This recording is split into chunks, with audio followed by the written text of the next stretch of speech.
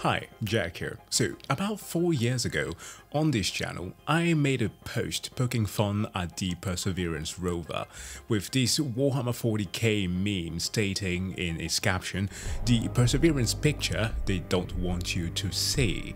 It was pretty funny by my standards, because at the time, Perseverance had concluded its 7th month journey to here the red planet Mars, having autonomously navigated itself for a terrifying 7 minutes, traveling from 15 times the speed of a bullet to a gentle 3 mile per hour touchdown, all the while live streaming its data back to Earth and concluding the entire thing with a selfie the wonders of human engineering, like absolute peak.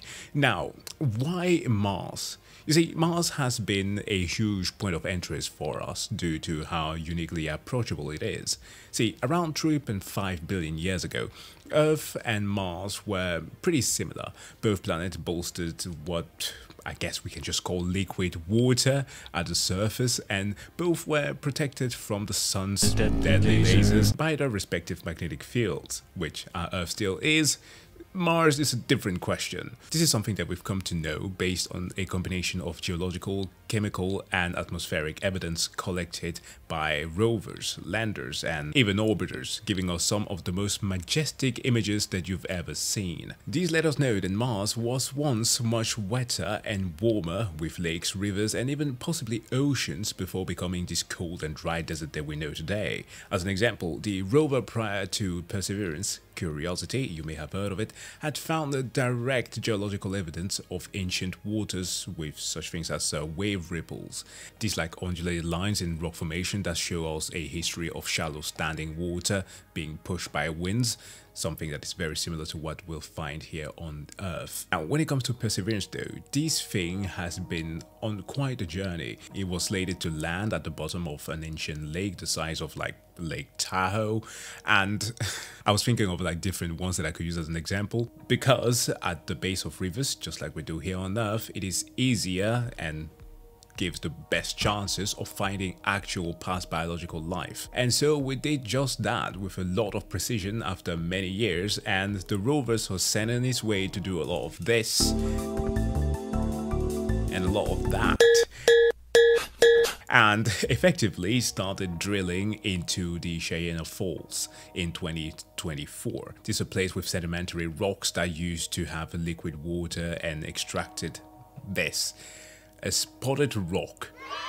Now, if you followed this channel in the last couple of months, you would likely have gotten pretty excited at the sight of funny rocks.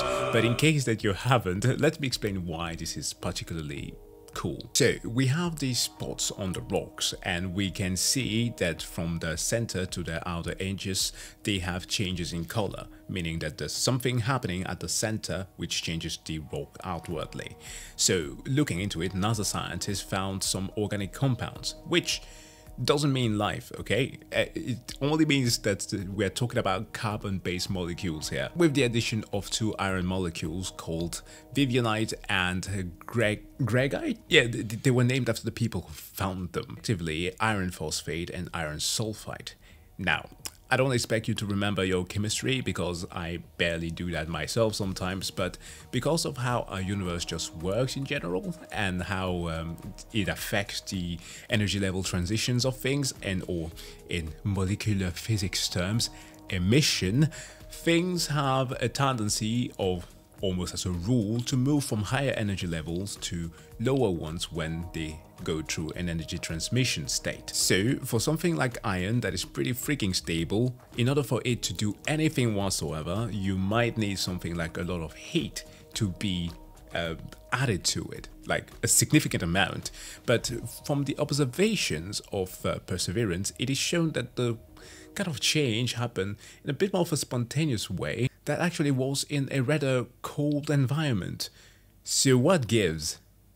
Well, interestingly, Vivianite and Greigite are often found on Earth in association with microbes that use their energy to power their own metabolism, and in return they create some kind of byproduct, so microbial excretion. And again, to be very precise here, what they produce is not life, but these are the ingredients needed to create life, so the organic compounds like carbon, oxygen, nitrogen, etc they could be in conjunction here.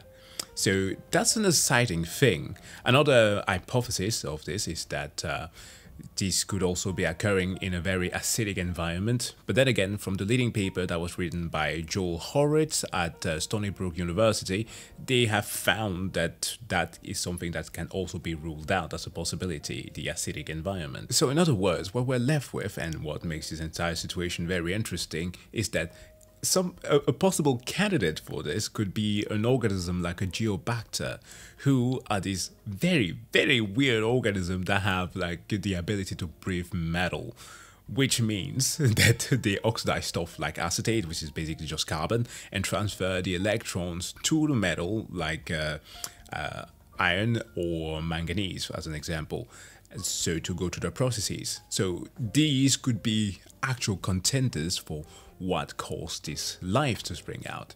So the process itself is called chemophantasis. It's very analogous to a photosynthesis that you know from plants, but where light is being made use of. So in other words, what NASA has concluded is that none of these is explainable outside of the hypothesis of there having been life on the planet prior to today.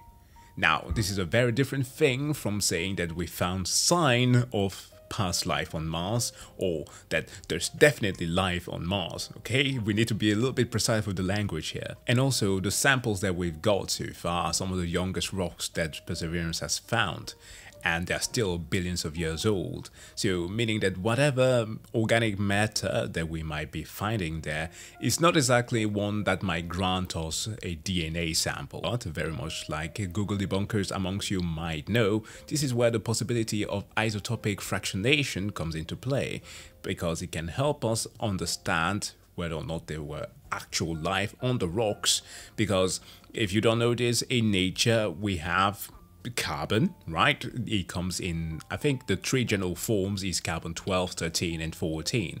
Much like the energy levels, these are isotopes of the carbon molecule. And one of the easiest way for us to tell whether or not something is alive is by looking at the carbon ratio within whatever it might be. So if we manage to get the rock samples back to Earth and analyze them, the science is going to be rather easy to give us a conclusive answer to it. Now, I personally think that this is super exciting news, not just because it can give us actual tangible proof of alien life by Earth standards, but also because it's just one of the wonderful examples of just how far we've come.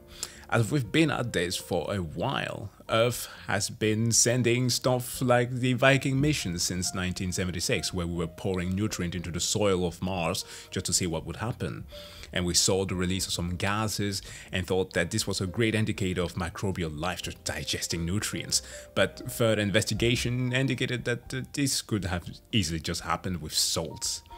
So it wasn't until we actually considered the possibility of Mars being very much like Earth with oceans in the past and lakes that we actually started making this type of progress that we're doing now.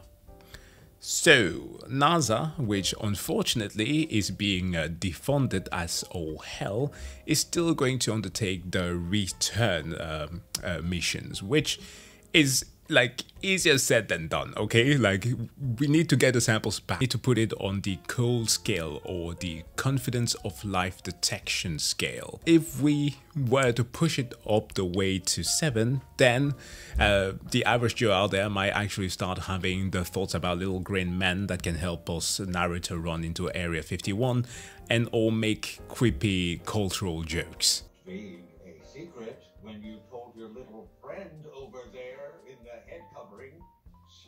She was still following me. Don't worry, she's not gonna tell anyone. She swore to Allah. Allah knows.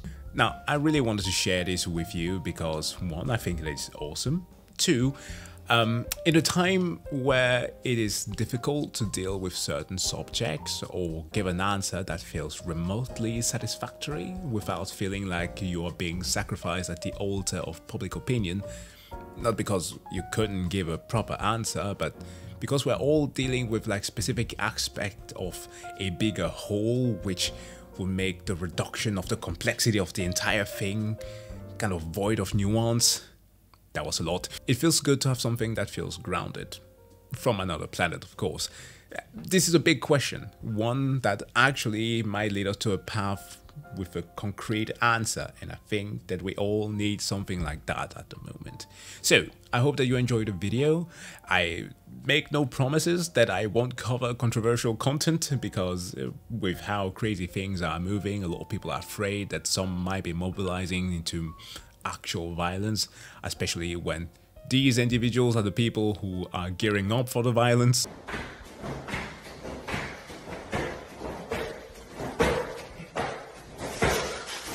But I will do my best to cover more chill subject and keep the good vibes because I think we all deserve that right now.